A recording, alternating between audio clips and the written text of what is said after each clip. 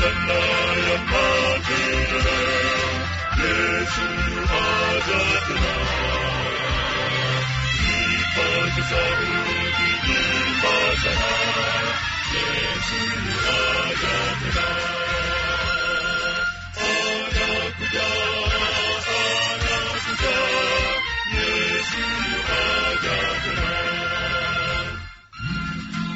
sauti ya matumaini kwa watu wote inayokujia kupitia redio ya Adventista ulimwenguni AWR.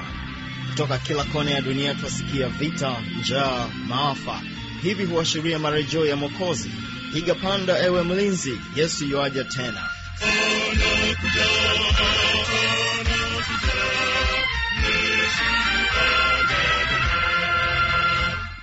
Msikilizaji, hii ni idhaa ya Kiswahili ya redio ya Adventista ulimwenguni AWR ikikutangazia moja kwa moja kutoka Morogoro, Tanzania, katika masafa ya mita bendi 19, lakini pia unaweza kutupata katika Morning Star FM. Vilevile vile tupo katika tovuti ya www.awr org. Karibu sana msikilizaji katika kipindi kizuri cha Biblia Kujibu. Mimi jina langu naitwa Habi Machilumshana. Hali yako ni njema sana, hivyo ambatana nami katika kipindi hiki kizuri ambapo swali lako msikilizaji linakwenda kujibiwa, swali ambalo liliuliza ukweli juu ya uungu wa Yesu. Hivyo basi tega sikio, usiondoke kando ya redio yako ili upate kusikiliza jibu zuri linalosema ukweli juu ya uungu wa Yesu, swali ambalo limekwenda kujibiwa naye mchungaji dominik Mapima. Basi kabla ya kusikiliza mada hii nzuri kwa siku hii ya leo, hebu usikiliza wimbo mzuri unaosema unishike mimi ni mdhaifu, wimbo umeimbwa nao Kinondoni SJ Kwaya, na mara baada ya hapo, msikilizaji, utapata kumsikiliza mchungaji dominik Mapima akiwa naye Fanuel Tanda katika mjadala mzima wa ukweli juu ya uungu wa Yesu, swali lililoulizwa na wewe msikilizaji.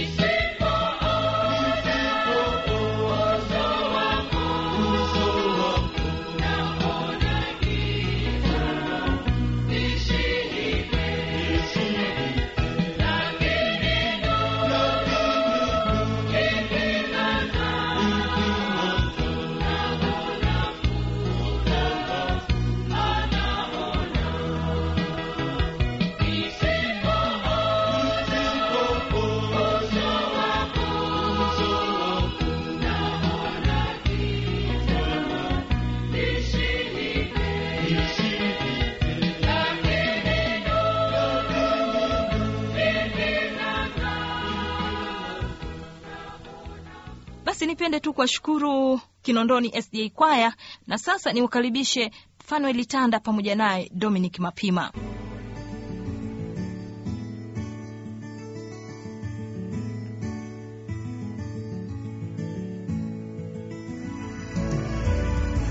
Ni matumaini yangu mpendwa msikilizaji wa AWR huu mzima wa afya. Karibu sana katika kipindi kizuri cha Biblia ya kujibu. Leo studioni tutakuwa naye mchungaji na mhadhiri Dominic Mapima katika kipindi hiki cha Biblia ya kujibu. Mchungaji Dominic Mapima, yeye ni mratibu wa mahusiano ya kidini ya Waadventista na Waislamu kanda ya mashariki mwa Tanzania. Katika kipindi cha Biblia ya kujibu kuna swali muhimu ambalo limeweza kutufikia. Tutaweza kuzungumzia mada inayosema kwamba ukweli juu ya uungu wa Yesu, lakini ndani ya mada hii ya ukweli juu ya uungu wa Yesu utaweza kusikiliza maswali mbalimbali mbali ambayo yameweza kutufikia katika studio zetu hizi hapa za AWR kupitia wasikilizaji mbalimbali. Karibu sana mchungaji Dominic Mapima. Naam, asante sana ndugu mtangazaji.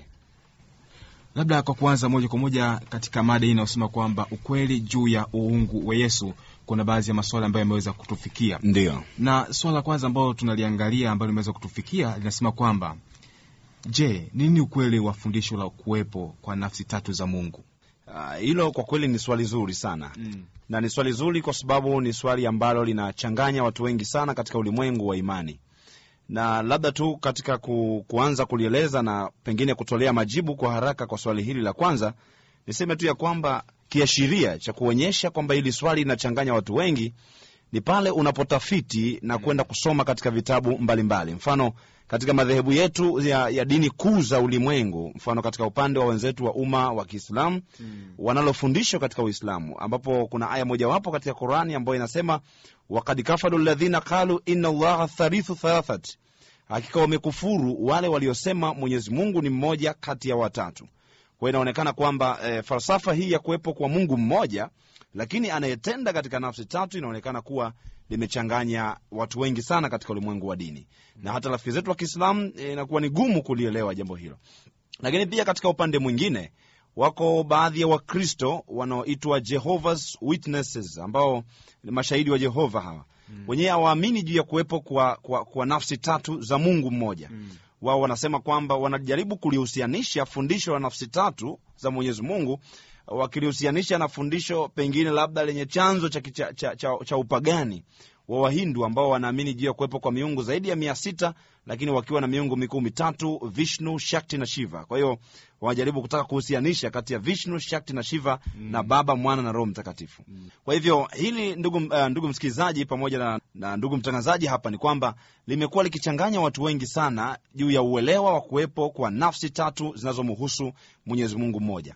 Lakini kwa sababu swali limekuja, ni vyema tukarudi katika msingi wa maandiko, kwa kuwa kipindi ni Biblia ya kujibu. Naam. Ni vyema tukarejea katika msingi wa Biblia kuona kwamba je, Biblia inaweza kutupatia ukweli wa uelewa wa kimsingi ya kwamba nini haswa chimbuko la kuwepo kwa, kwa, kwa, kwa fundisho hili la msingi na la kweli la kuwepo kwa Mungu mmoja, lakini anayetenda katika nafsi tatu ama aliyejifunua katika nafsi tatu. Moja kwa moja tuanze na kitabu cha Mwanzo sura ya kwanza mstari wa kwanza. Kitabu cha Mwanzo ndugu msikilizaji, ni kitabu ambacho ndicho kinamtambulisha Mungu mm. na chenyewe kinaanza kwa kauli hii, Mwanzo moja mstari wa kwanza, tutakwenda mpaka mstari wa tatu. Nasema hapo mwanzo Mungu aliziumba mbingu na nchi mm. na nchi ilikuwa ukiwa tena utupu, na giza lilikuwa juu ya uso wa vilindi vya maji. Alafu inamalizia inasema ya kwamba roho ya Mungu ikatulia juu ya uso wa maji. Sasa katika andiko hili Biblia inasema kwamba hapo mwanzo Mungu aliziumba mbingu na nchi, kwa hivyo inamtambulisha Mungu. Sasa inapomtambulisha Mungu, huyu ndio tunaweza kumuita Mungu kama, kama baba huyu e, Mungu ambaye ndiye baba.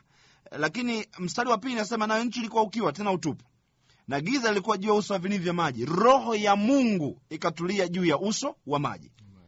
Kwa hivyo tunaona Biblia ikitambulishwa kuwepo kwa baba huyu Mungu, lakini baadaye inasema kwamba kuna roho ya Mungu iliyotulia juu ya uso wa maji. Na ina mstari wa tatu inasema Mungu akasema iwe nuru, ikawa nuru. Sasa inaposema Mungu akasema iwe nuru, ikawa nuru, ni kwamba hapa kuna mchakato wa uumbaji umeanza, na mchakato huu unapoenda katika upana wake, utaona nabii Daudi huyu e, ama mfalme Daudi katika kitabu chake cha Zaburi 33 mstari wa sita anajaribu kuelezea katika upana wake huu mchakato wa uumbaji ulihusisha mamlaka gani. Ndipo anasema kwa neno la Bwana mbingu zilifanyika na jeshi lake lote kwa pumzi ya kinywa chake. Kwa hivyo hapa tunaona tena kuna nafsi hii iliyohusika na uumbaji inayoitwa nafsi ya neno. Kwa hivyo katika msingi tu wa kitabu cha Mwanzo tunaweza kuona kuwa Biblia imefunua msingi wa kuwepo kwa utendaji wa Mungu mmoja, lakini anayetenda katika nafsi tatu. Nafsi ya kwanza ikiitwa Baba, hiyo Mungu, alafu nafsi ya pili Roho ya Mungu, na nafsi ya tatu ni neno la Mungu ambaye ni idara ya uumbaji. Lakini pia msingi wa hili unaweza kupatikana kadi ambapo tunaenda mbele zaidi katika msingi wa mafunuo ya Bibilia kama tunavyosoma siku zote kwenye kitabu cha Mwanzo moja mstari wa 26 ambayo inasema, Mungu akasema, na tumfanye mtu kwa mfano wetu, kwa sura yetu, wakatawale samaki wa baharini na ndege wa angani na wanyama na nchi yote pia na kila chenye kutambaa kitambaacho juu ya nchi. Kwa hivyo hapa Biblia inasema Mungu akasema, na tumfanye mtu kwa mfano wetu. Anatumia mfumo wa wingi huu na mfumo wa wingi huu unaashiria kwamba Mwenyezi Mungu huyu ni mmoja, lakini ndani ya umoja alionao amejifunua katika utendaji wa nafsi tatu. Na kwa hivyo anaposema na tumfanye mtu, anaashiria ama anathibitisha ukweli wa kuwepo kwa nafsi tatu za milele ambazo zinafanya kazi ndani ya wazo la msingi la Mwenyezi Mungu mmoja. Pengine kwa haraka tusome baadhi ya maandiko mengine ambayo yanaweza kuongeza mkazo wa ushahidi wa ukweli juu ya, ya, ya fundisho hili la msingi la Biblia. Kwenye kitabu cha Mwanzo tatu mstari wa ishirini na mbili Biblia tena inaonyesha jinsi Mungu alivyotenda katika mfumo wa nafsi zaidi ya moja. Kitabu cha Mwanzo sura ya pili, sura ya tatu mstari wa 32, maneno ya haki hapo ya Mungu yanasema uh, kama ifuatavyo. Mwanzo sura uh, ile ya tatu kuanzia mstari wa 22, nasema Bwana Mungu akasema, basi huyu mtu amekuwa kama mmoja wetu kwa kujua mema na mabaya na sasa asije akanyoosha mkono wake akatoa matunda ya mti wa uzima akala akaishi milele. Mstari wa 23 inasema, kwa hiyo Bwana Mungu akamtoa katika bustani ya Eden ailime ardhi ambayo katika hiyo alitwaliwa. Katika andiko hili tunaona ya kwamba baada ya tendo la uwasi wa Adamu na Hawa kwa tendo la kula mti wa ujuzi wa mema na mabaya sasa ika, ikaonekana kwamba kwa tendo hilo la kujua mema na mabaya sasa wana, wanaweza kwenda mbele zaidi, wakaenda wakala mti mwingine uliokuwepo wa matunda ya, ya, ya, ya uzima ya mti wa uzima huu, na ndipo maandiko anasema ya kwamba basi Bwana akasema, basi mtu huyu amekuwa kama mmoja wetu akijua mema na mabaya. Kumbuka ya kwamba aliyekuwa anajua mema na mabaya ni Mwenyezi Mungu. E, mabaya ni yapi na mema ni yapi? Lakini hapo anasema kwamba mtu huyu amekuwa kama mmoja wetu. Inaposema mmoja wetu, hapo Mungu amezungumza katika uwingi unaoashiria kwamba yeye ni mmoja, lakini ndani ya umoja huo amejifunua katika utendaji wa nafsi zaidi ya moja. Mwanzo sura ya kumi na moja mstari wa sita linazidi kuongezea mafungo, ndugu mpenda msikilizaji, ili uweze kuona kwamba fundisho hili ni hakika na ni fundisho la kweli la kibiblia na si, uh, si sawa kwa wale ambao wanadhani kwamba pengine fundisho hili linatoka katika, uh, katika mtazamo wa imani yoyote isiyotokana na msingi wa maandiko ya Biblia. Mwanzo wa 11 mstari wa sita, katika tukio jingine ambapo wanadamu walikuwa wamebuni mkakati wa waku, kutengeneza mnara huu mnara wa Babeli ili kupanda ili ku, ku, ku, kwenda kwa Mungu. Walipokuwa wameweka mkakati huu, ndipo mbingu ilipoona kwamba wanafanya kitu cha hatari. E, Biblia hapa inatoa inaeleza hadhma ya Mwenyezi Mungu. Aliamua afanye nini kukabiliana na ukafiri huo wa wanadamu ambao walianza kuufanya wakati huo. Mwanzo 11 mstari wa sita inasema hivi: Bwana akasema, tazama, watu hawa ni taifa moja na lugha yao ni moja, na hayo ndiyo wanayoanza kuyafanya, wala sasa hawatazuiliwa neno wanalokusudia kulifanya. Mstari wa saba sasa inasema, haya natushuke huko tuwachafulie usemi wao ili wasisikilizane maneno wao kwa wao. Inasema Mungu alipokuwa anaadhimu kwenda kuwachafulia maneno hawa lugha hawa watu waliokusudia kujenga mnala wa Babeli, anasema haya natushuke huko. Anatumia tena mfumo wa wingi unaoashiria kuwa yeye ni Mwenyezi Mungu mmoja, lakini ndani ya umoja huo anatenda ama amejifunua katika nafsi zaidi ya moja. Kwa hivyo msingi wa maandiko uh, unaonyesha dhahiri kwamba fundisho la Utatu Mtakatifu ni la kibiblia. Labda pengine, um, ndugu msikilizaji, ndugu mtazamaji, tungemalizia tunge kidogo na Ufunuo nne mstari wa nane kwa haraka. Huyu nabii wa mwisho huyu wa Ufunuo na anaweza kutupigilia msumali wa mwisho katika swali hili. Ufunuo nne nane inasema hivi, inasema na hawa wenye uhai wanne kila mmoja alikuwa na mabawa sita sasa huko ni mbinguni sasa Mm. kuna hao viumbe hawa wanaoitwa wenye uhai wanne kila mmoja alikuwa na mabawa sita. Anasema na pande zote za ndani wamejaa macho wala hawapumziki mchana na usiku. Sasa hawa ni viumbe hawa ni, ni, ni miongoni mwa viumbe walioko mbinguni hawa tena wako mbele kabisa ya mamlaka ya mwenyezi mungu. Biblia inasema kwamba hawapumziki mchana na usiku. Kuna maneno wanayoyatamka. Wanasemaje? Wanasema na wala hawapumziki mchana na usiku wakisema mtakatifu mtakatifu mtakatifu alafu inasema bwana mungu mwenyezi aliyeko aliyekuwako aliyeko na atakayekuja. Sasa hawa malaika hawa, hawa viumbe hawa walioko mbinguni hawa maandiko anasema kwamba wanapokuwa wanamsifu mwenyezi mungu wanatamka mara tatu. Wanasema mtakatifu alafu tena wanasema mtakatifu wanasema mara nyingine ya tatu mtakatifu alafu wanafanya jumuisho. Wanasema bwana mungu mwenyezi sasa kwa nini watamke mara tatu wanatamka mara tatu mtakatifu kutokana na ukweli wa falsafa na fundisho la kimsingi la biblia kwamba mungu anatenda katika nafsi tatu na kwa hivyo wanapotamka mara tatu wanataja nafsi zote ambazo mwenyezi mungu amejifunua kwazo Ah, nashukuru sana mhadhiri Dominic Mapima. Na inawezekanaje nafsi tatu zihusu Mungu mmoja? Hapo inakuwaje? Nafsi tatu zinahusu Mungu mmoja? Aha nadhani hilo pia ni, ni changamoto pia ni swali. Aha sawa sawa. Na- nadhani hata mimi pia nimekuwa nikikutana na swali hili. Katika harakati za injili sehemu mbalimbali katika ulimwengu na sehemu nyingine nimekuwa nikiulizwa hili swali kwamba inawezekanaje basi E, nafsi hizi tatu bado zikaleta maana ya msingi wa mwenyezi mungu mmoja? Kwa nini wasiwe miungu watatu Hilo Mm. E, imekuwa ni changamoto pia. Labda ndugu mpendo msikilizaji kwa kujibu swali hili nipende kusema kama ifuatavyo kwamba nafsi hizi tatu zinamuhusu mungu mmoja katika maana hii kwamba katika biblia ziko hesabu za namna hiyo kwamba kuna hesabu inayoweza kujumuisha vitu vingi lakini jibu likawa ni ni moja. Hebu tuchukulie mfano. Naomba tusome kitabu cha matayo matayo sura ya 19 mstari wa nne katika biblia. Tunaweza tukaona kielelezo cha mfano wa fundisho la namna hiyo. Matayo sura ile ya 19 kuanzia mstari wa nne maneno ya haki ya mwenyezi mungu yanasema katika biblia. Yanasema hivi. Akajibu akawaambia amkusoma ya kwamba yeye aliyewaumba mwanzo aliwaumba mtu mume na mtu mke. Akasema kwa sababu hiyo mtu atamwacha babaye ataambatana atamwacha babaye na mamaye ataambatana na mkewe. Mm. sasa ndugu, ndugu mtangazaji na ndugu msikilizaji kwamba sehemu hiyo biblia inasema ya kwamba mungu alituumba mwanzo. Yeye aliyetuumba mwanzo alituumba mtu mume na mtu mke. Okay. Nadhani mtu mume na mtu mke hizo ni jinsia tofauti. Au ni watu ambao wana, wana, wana, wana nature ama asili moja. Mm. lakini kimsingi wana jinsia tofauti na hawawezi kulingana katika mtazamo wa kijinsia. Lakini biblia inasema ya kwamba yeye aliwaumba mwanzo aliwaumba mtu mume na mtu mke. Sasa inasema mtu atamwacha babaye na mamaye ataambatana na mkewe. Alafu inasema na hao wawili. Sasa biblia haikanushi kwamba hawa wanaonekana kuwa na hali ya kuwa kama wawili hivi. Maana wana jinsia tofauti hawa lakini nasema na hao wawili watakuwa mwili mmoja. Sasa kama inawezekana wanadamu walio na jinsia tofauti lakini wanapoungana ule ile hali ya kuwa wawili inaondoka wanaitwa tena kuwa ni mwili mmoja.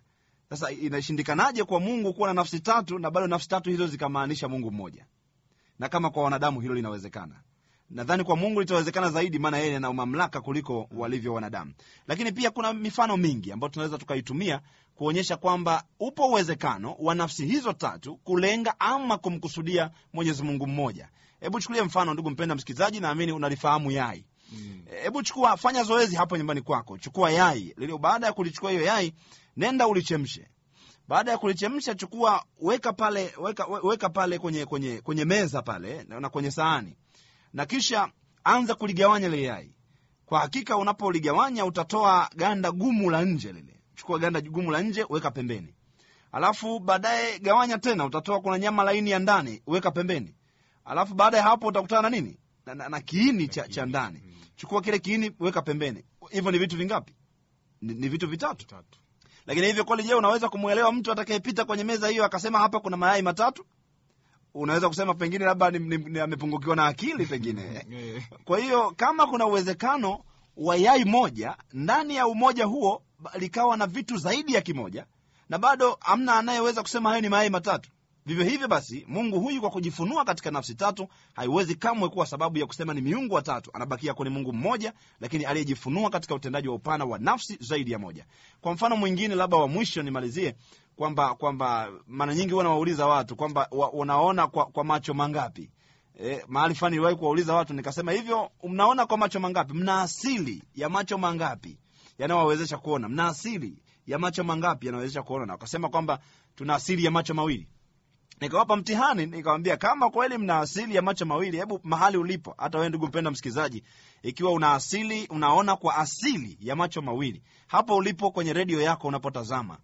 Ninaomba uangalie redio yako vizuri ama uangalie mahali popote. Alafu kisha kama kweli una asili ya macho mawili ninaomba jicho lako la kushoto liangalie upande wa kushoto na jicho lako la kulia liangalie upande wa kulia kwa wakati mmoja. Ninaona hata mtangazaji wangu hapa anashindwa hapa ni kumaanisha kama kama uwezi jicho lako la kushoto kuangalia kushoto na la kulia kuangalia kulia kwa wakati mmoja ni kumaanisha kwamba wewe una asili ya jicho moja. Ile senta yako ni moja ambayo ndio ina control hizi lanes mbili hizi. Sasa kuwepo kwa hizi lanes mbili akuashirii asili ya macho mawili bali asili inabaki kuwa ni ya jicho moja. Lakini huu ni upana tu ambao mwenyezi mungu aliuweka ili utusaidie kuwa na uwezo mkubwa wa kuona. Lakini tunapoenda kwenye source ama kwenye center ni moja kwa hivyo hata mungu anapoweka upana wa utendaji wa nafsi tatu bado asili yake kama mungu inabakia kuwa ni mungu mmoja. Lakini anatenda na amejifunua katika upana wa utendaji wa nafsi tatu za milele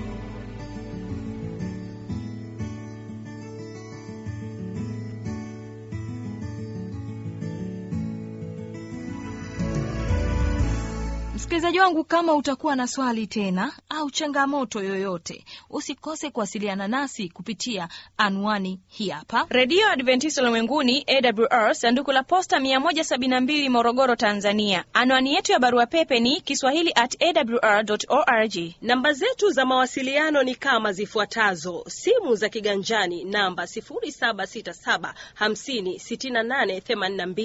au 784297297 ukiwa nje ya tanzania kumbuka kuanza na namba kiunganishi alama ya kujumrisha 255 unaweza kutoa maoni yako kupitia facebook kwa jina la awr tanzania. Na kwa kufikia hapo basi sina la ziada. Mimi jina langu naitwa habi Machilumshana, nikutakie usikilizaji mwema wa vipindi vinavyoendelea kutoka hapa awr